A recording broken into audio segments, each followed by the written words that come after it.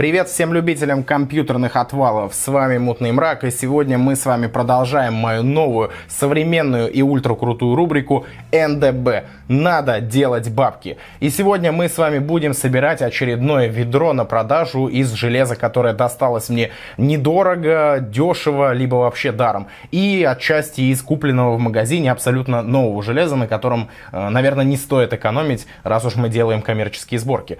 Ну ладно, а если серьезно, всем здорово, ребята и я рад приветствовать вас в новом видосе с самой обыкновенно странной и никчемной, наверное, сборки. Я даже не знаю, как назвать сегодняшний ролик, потому что сборка у нас сегодня предстоит вроде бы нормальная, и я думаю, что у многих зрителей даже такого компьютера нет, и они мечтали бы о таком компьютере, но с другой стороны, другая часть аудитории может посмотреть на это и сказать, э, ты чё, кукухой поехал, что за хрень ты собираешь? Ладно, ребят, сегодня постараемся без воды, я вам уже говорил, что я вот избавляю избавляюсь от компьютерного железа, которое у меня залежалось от такого залежалого железа, которое не приносит никакого проку, и его, в принципе, можно продать в готовой сборке. И, естественно, сделать из этого хоть какой-то контент для вас, чтобы вы посмотрели, на что те или иные старые железки способны. И сегодня мы с вами будем собирать компьютер на базе процессора Core i5-6500, это Skylake, и на базе материнской платы Z270 Prime от Asus, которая у меня тоже валяется очень давно, наверное, с... Э, ну, вообще я ей пользуюсь, с 2018 года. Она мне помогала в 5 или в 6 тестах. Мы на ней гиперпейн два раза тестили. Еще что-то мы на ней тестили. По-моему, тоже i5 какой-то. Ну, в общем, она, в принципе, больше мне не нужна. Если что, я уж смогу купить какую-нибудь другую на Авито. Если мне прям э, какой-то, э, какая-то острая необходимость получится. В общем, i5 6500 и Z270, который может гнать оперативную память. Ну, также многие умельцы делают кофемоды, прошивают биосы и ставят на вот эти вот доски процессоры 9100F, ставят самые разные даже всякие кей-процессоры, кто-то умудряется это все гнать, но мне эта мать не нужна, я кофемод никакой делать с ней не буду. Ребят, у меня софтбокс, короче, накрылся. Одна лампа перегорела и сейчас пытается мерцать. Но вот когда садишься записывать видео, во, все, короче. Отвал лампы. Я вам сейчас кое-что покажу. Никуда не уходите, подождите. В софтбоксах, короче, стоят вот такие лампы кукурузки, здоровые, якобы по 400 ватт. Ну, китайцы пишут там, о, якобы по 150 ватт, извините. По 100, по 150 ватт. И смотрите, что с одной лампой случилось. Она взорвалась у меня недавно. И у нее пробило кондер, перегорел трансформатор, я так понимаю, взорвался. И гарь, там внутри гарь, то есть она начала гореть внутри. Что-то софтбоксы последнее время да, шалят. Я просто записывал недавно ролик на канал, и у меня точно такая же хрень была. Она мерцала, мерцала и взорвалась. Ну вот сейчас посмотрим. Вот давайте, не будем специально ее вытаскивать. Если будет дым или отвал, я думаю, многим будет интересно. В общем, продолжаем дальше наш, наш видосик. Оперативной памяти у нас будет 16 гигабайт. Это та самая планка, которую я украл у человека, которому собрали ужасный компьютер за 73 тысячи. Вы так подумали. На самом деле я ничего не крал, человек был согласен, и двухканальный режим, но он реально решает. Во многих игрушках, особенно когда играешь много вкладок, у тебя открыты какие-то другие приложения, двухканальный режим нужен был этому человеку. Я ему поставил две своих планки на 8 и забрал одну на 16. Вы восприняли это как какой-то акт кражи и воровства, хотя я ничего не украл, я ему вернул ровно ту же самую, э, ровно тот же самый объем оперативки, просто в двухканальном режиме. И теперь у меня валяется никчемная 16-гигабайтная планка, которая мне совершенно вообще ни к селу, ни к городу. Она мне не нужна, и поэтому пустим ее в сегодняшнюю сборку с i5. У нас i5 на Z-материнке, одноканал. Ребята, будем ждать гринпейпера в комментариях, потому что я чувствую, что с каждым моим роликом с подобной говносборкой э, я буду все больше превращаться в типичного индивида, которого обычно обозревал гринпейпер. В общем, 16 гиг оперативки. И давайте для полного дисбаланса и для абсолютной какой-то странности сегодняшней сборки поставим в нее что? Я думаю, вы уже видели видос у меня на канале про самую лучшую видеокарту до 5000 рублей. Если не видели, то посмотрите его сейчас по аннотации. Мы поставим сюда гигабайт RX 470 на 4 гигабайта. Да-да, i5, одноканал Z-мать и видеокарта RX после майнинга. Ну, тут сказать нечего, посмотрите видос, если хотите узнать более подробно про эти видеокарты. Я там сделал полноценное видео с разбором, как покупать эти видеокарты, как их проверять, как э, сделать так, чтобы вас не развели и не кинули при покупке подобных видеокарт с майнинга. У меня три штучки этих карт остались, вот. Пускаем в сборочку. Далее в магазине был приобретен SSD-накопитель SATA. SATA это такой режим работы. Многие меня в предыдущем ролике упрекали, что я сказал э, какой-то бред. И я там сказал, я купил M2 накопитель SATA. И мне написали, да что такое, что за бред, как может быть M2 накопитель SATA? А вот может быть, это M2 накопитель SATA, не NVMe. Дешевенький, за м, этикетки не осталось, 1999 рублей. Просто для экономии места, и все-таки, раз у нас аж два слота M2 есть на матери, почему бы их не задействовать? Он был куплен в магазине. Охлаждать это все будет вертушка от Deepcool с медным пятаком. Я покажу сейчас все это более подробно, когда перенесемся за стол. И еще из нового был куплен корпус и блок питания. Блок питания у нас STE-шка на 500 ватт, Кугуар. Естественно, никакой Oracle VX, либо какой-то другой Oracle я сюда брать не стал, потому что все-таки RX ну, 470, она достаточно прожорливая видеокарта, и на нее пульсации влияют очень даже неплохо. То есть, если мы поставили сюда какой-то самый дешевый Oracle, видюха точно долго не прожила бы. Мне это невыгодно. Я понимаю, если бы мы сегодня собирали какую-нибудь сборочку с 550 Ti, либо с GTX 650 на 1 гигабайт, естественно, взяли бы туда самый вообще ширпотребный блок питания, самый дешевый, можно даже DeX купить. Но все все-таки нам надо, чтобы этот компьютер хотя бы пару лет порадовал своего нового хозяина, и поэтому блок питания абсолютно новенький с магазина. Так, и что у нас из нового, это корпус. Корпус от Ginzu офисный ATX за 1400 рублей. Блин, он приехал уже такой марки грязный, вот я его не трогал, я его только из целлофана вытащил. Вот я обожаю отношение производителей к потребителю, к конечному. Если ты покупаешь самый дешевый продукт, то он обязательно приедет какой-то изгвазданный, в говнище весь. Вот как так-то? Вот тут вмятина есть небольшая. Ну, блин, отсюда не очень хорошо вам видно будет. Ну, короче, тут вмятинка есть. Вот это абсолютно новый корпус. Я даже с него пленку не снимал. Вот, вот, вот тут пленочка у нас. Я вот только что из целлофана достал. И на задней крышке есть вмятина небольшая. Ну, по кайфу, типа, покупаешь самый-самый дешевый ширпотреб, будь готов э, к тому, что корпус будет немножечко грязноватый, прям с магазина и немножечко мятый. Ладно, ребят, давайте перенесемся за рабочий стол. Я более детально покажу вам эти железки. Все это соберем на столе и потом будем засовывать вот сюда. Сразу хочу сказать, прям громко хочу сказать, эта сборка вот эта сборка ни в коем случае не для того, чтобы вы ее повторяли. Не вздумайте брать i5 и Skylake, не вздумайте покупать к ним Z-материнские платы. Я собираю это все лишь из-за того, что у меня это железо лежит, и оно у меня есть. От него надо избавиться. Ладно, переносимся за стол и будем все это более детально рассматривать.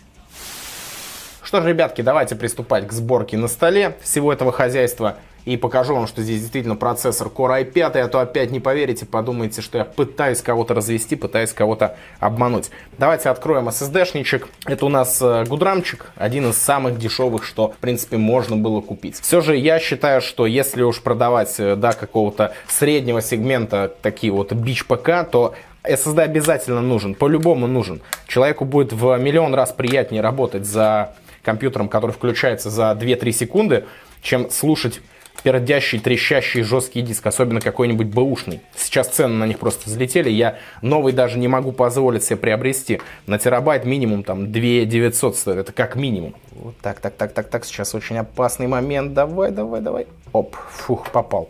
Все, все, накопитель прикручен, идеально, просто отлично.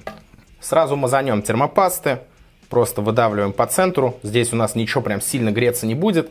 И это все само распределится по вот этому вот медному пятаку. Не переживайте, когда собираете всякие i3, Pentium, i5, просто вот так вот выдавливайте и накидывайте радиатор.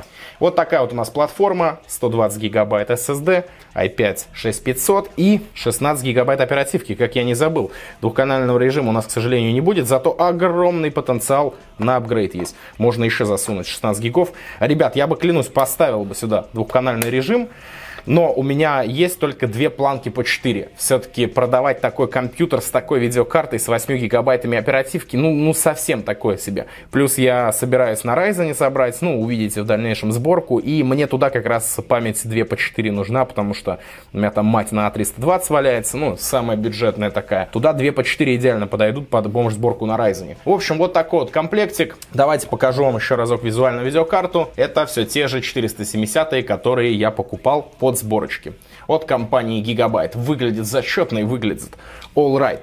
Так, давайте откроем блок питания.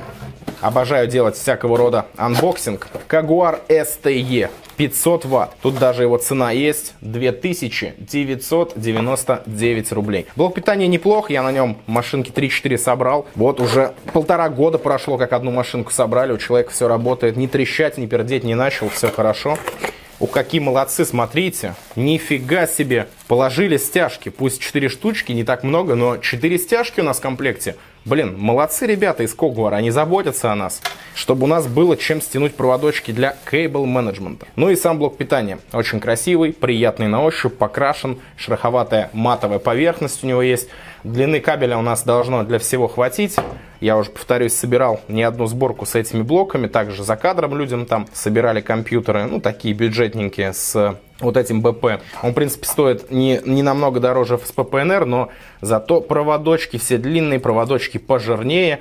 И в плане кейбл менеджмента он тоже будет поудобнее, в отличие от FSP PNR. Ну, ребятки, надо говорить спасибо, что не VX. Вот такой вот кугорчик STE 500 Вт по 12 вольтовой линии, как у нас написано, 450 Вт. Не знаю, верить этому или нет, но зато у нас здесь должен быть активный PFC. И если мы здесь сейчас посмотрим, э, то тоже увидим одни перемычки внутри. Ну, ну что за скотство? Хотел сказать, какой у нас набор радиодеталей, ну хотя бы филь фильтра стоят.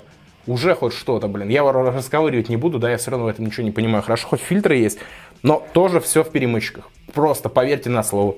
Треть блока питания все, одни перемычки. Ну ладно, за такие деньги, как скажет Нитроксенус, наш великий вождь блоков питания, мы просто копаемся и выбираем в говне лучшие сорта говна. Поэтому я думаю, вот эта СТЕшка это такой э, высокий, высокий класс говна, высокий сорт говна из того, что мы могли бы купить в диапазоне до 3000 рублей. Ладно, ребятки, вот такое вот железо. Давайте посмотрим просто так вот поверхностно на корпус гинзу, который я взял, и будем все это собирать. Мне уже руки руки чешутся, уже не терпится приступить к сборочке.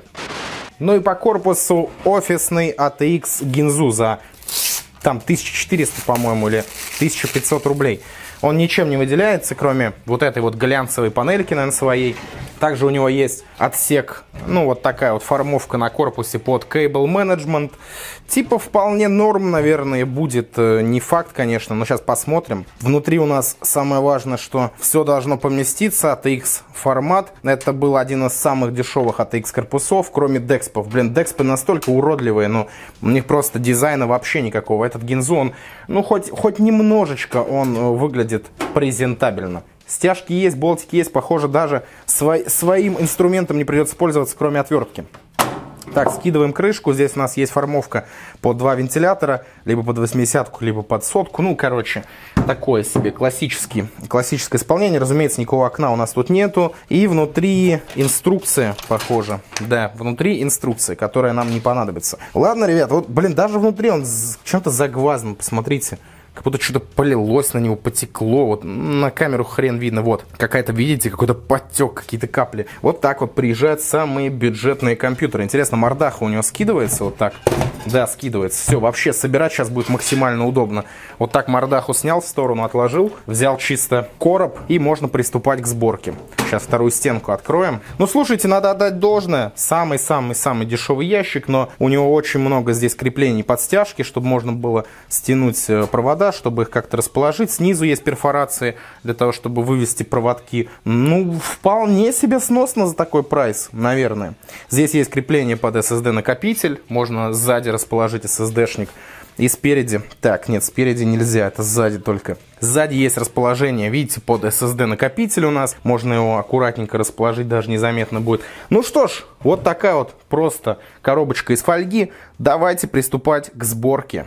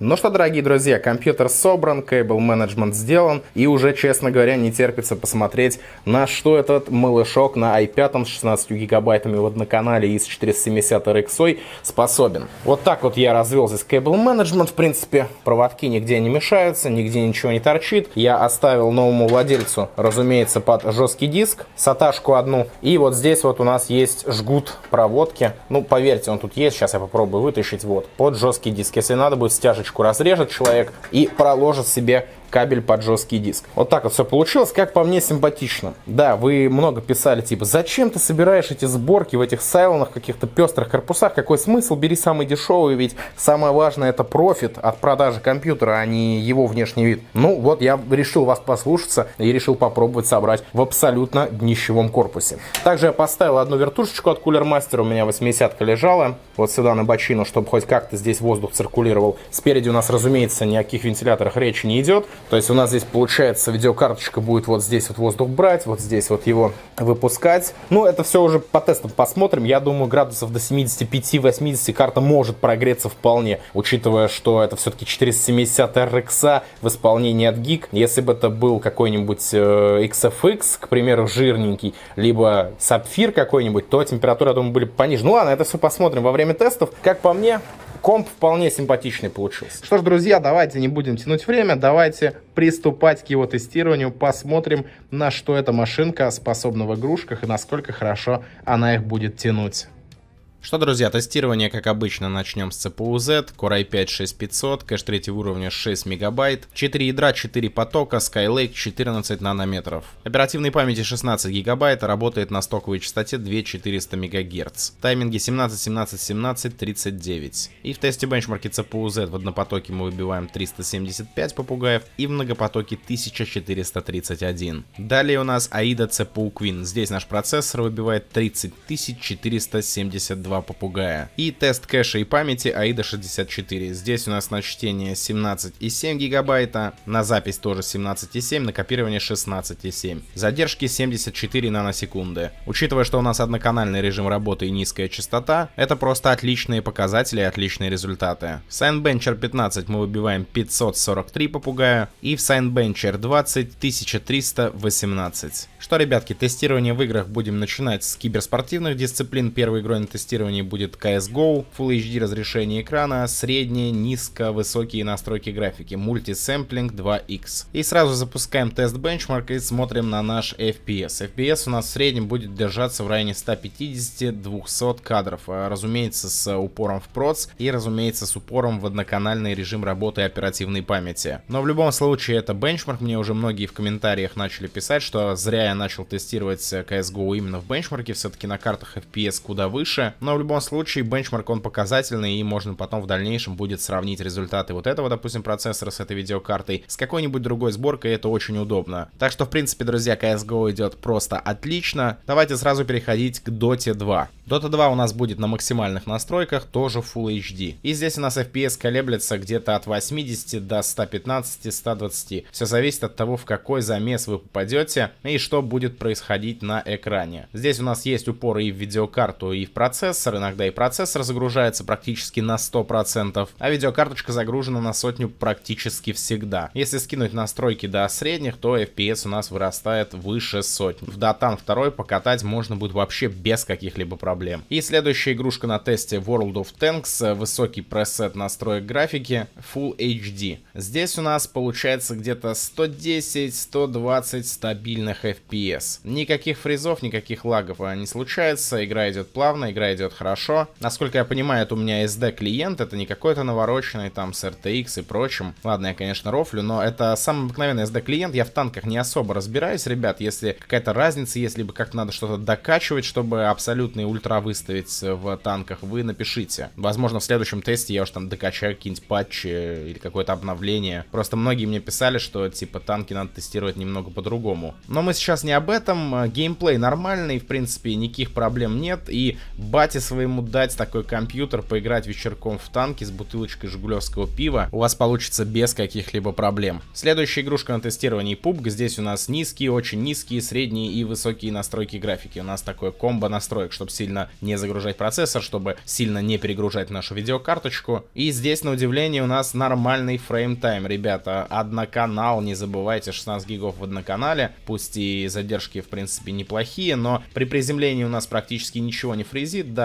проскакивал там пару статоров, но в целом игра идет нормально, даже при приземлении, что меня очень удивило. В момент, когда мы начинаем играть, бегать, лутать, FPS у нас выравнивается и практически всегда держится на отметке 80-100 кадров. В целом игра идет э, бодро, сносно и никакого дискомфорта не вызывает. Я все-таки э, ставил ставки, что пубг будет идти просто отвратительно, но в целом все терпимо и каких-то серьезных фризов, каких-то серьезных проседов я, по крайней мере, не наблюдаю. Поиграть можно будет без проблем. А вот в Need for Speed Hit у нас все не так гладко. Средние настройки графики, Full HD, и вот здесь фризит так фризит. Здесь все же наш одноканальный режим работы оперативной памяти сказывается, когда мы на огромной скорости преодолеваем какой-то новый район, можно сказать, открываем, подгружаем. В момент подгрузки у нас серьезные статоры, серьезные фризы. Это заметно, когда едешь, у тебя прямо перед носом подгружается какая-то локация, и именно в этот момент проскакивает фриз. Игра запускается с SSD накопителя, поэтому влияние жесткого диска, там низкоскоростного, я здесь исключаю. Но нужно отдать должное, если поиграть так минут 5, то игра уже устаканивается, грубо говоря, если это можно так назвать, и фризить перестает. Когда игрушка прокэшируется, все работает работает нормально. Следующая игрушка на тестировании Ведьмак 3, средние настройки графики, постобработка стоит на высокая. И здесь у нас с вами от 60 до 80 FPS. Опять же, мы в городе, у нас здесь очень много народу, очень много самой разной анимации, но каких-то лютых, прямо и серьезных фризов нет, как, например, в том же самом Need for Speed Hit. Да, фреймтайм у нас э, он с зазубринами, не сказать, что он идеально ровный, но эти разрывы кадров, они совершенно незаметны, по крайней мере, с таким FPS. Здесь же вполне сносный геймплей, геймплей, по крайней мере на графике, даже если что-то видно, это не сильно ощущается непосредственно, когда мы погружены в игровой процесс, когда мы играем. Так что Ведьмак 3 идет как-то так. Переходим к следующей игрушке. Следующая игрушка на тестировании Far Cry 5, высокие настройки графики, Full HD. И здесь мы получаем в районе 70-80 FPS. Здесь у нас фреймтайм ровный, никаких фризов не проскакивает, игра не статерит и не лагает. Загрузка видеокарты и процессора у нас здесь тоже равномерная, так что сборка получилась отлично отлично сбалансированный, да, все раскрывает. Процессор раскрывает видеокарту, а видеокарта раскрывает процессор. Тут происходит двойное раскрытие. Если бы еще раскрывала оперативная память, было бы куда лучше все. Но Far Cry 5 даже одноканала вполне себе хватает, чтобы нормально и живенько бегать на этой машинке. И даже в момент э, езды на квадроцикле, когда мы занимаемся охотой с квадроцикла, пытаемся подстрелить диких животных, никаких проблем нет. Ничего не фрезит и ничего не лагает. Следующая игрушка на тестировании Battlefield 5. Высокие настройки графики, Full HD. И вот батла идет вполне сносно. Тоже иногда проскакивают небольшие фрезы, но они едва заметны. Никаких серьезных нареканий нет. 60-70 кадров на высоких настройках это вполне себе сносные и нормальные результаты. На песчаной карте мы с вами получаем плюс-минус под сотню FPS от 80 до 100. Здесь фрезов вообще не появляется. Да, бывают дропы FPS, но именно фрезов на этой карте нет, потому что она полегче, чем самая первая, самая начальная глава. Последней игрушкой на сегодняшнем тестировании будет Control. Средние низкие настройки графики. Здесь мы получаем в среднем от 40 до 50-55 FPS с далеко не самым ровным фреймтаймом. Но, ребят, не забывайте, что мы сегодня собираем хлам из хлама, который просто лежит на полках. Поэтому то, что он вообще что-то тянет нормально, это уже огромное достижение. В целом, не искушенному геймеру вполне себе геймплей зайдет. Если если выключить мониторинг, э, не смотреть на FPS, то все очень даже плавно. Ну, наверное, ребята. Как-то так, друзья, у нас идет контроль, и давайте подведем итоги по тому, что мы с вами сегодня собрали. Компьютер, который мы сегодня собирали, по итогу ушел за 15 тысяч рублей. Да, у меня с него минимальный навар, но я не гонюсь в данной рубрике за наживой, за какой-то серьезной прибылью. Я просто избавляю себя от железа, которое у меня залежалось, и делаю какой-никакой контент для вас. Благодаря просмотру сегодняшнего ролика вы теперь знаете, знаете, на что способен i5 Skylake в связке с RX 470 либо 570. И плюс-минус это похожие карты и результаты будут похожи. Я считаю, что за 15 тысяч рублей вполне себе сносная машина. Если зайти на Авито и посмотреть, что тамошние барыги предлагают по 15 тысяч, это всякие корквады, да, они до сих пор продаются. Это i3 200, это i3 Haswell, очень редко i5 2400, допустим, что-то подобное. И видеокарточки уровня 750 Ti на 2 гигабайта. И у них все это собрано в абсолютный хлам, в корпуса по 100, по 200 рублей. Разумеется, во все бэушное. Мне особого смысла навариваться на ком-то нет, поэтому я буду и дальше продолжать э, собирать такие сборки, продавать их у себя в паблике, потому что подобные компьютеры за такую цену разбирают как горячие пирожки. И получается, никто никого не обманывал. Пусть я и собрал абсолютно трэшовую и дисбалансную сборку из говна и палок, но и стоила она не 25-30 тысяч рублей, а всего лишь 15.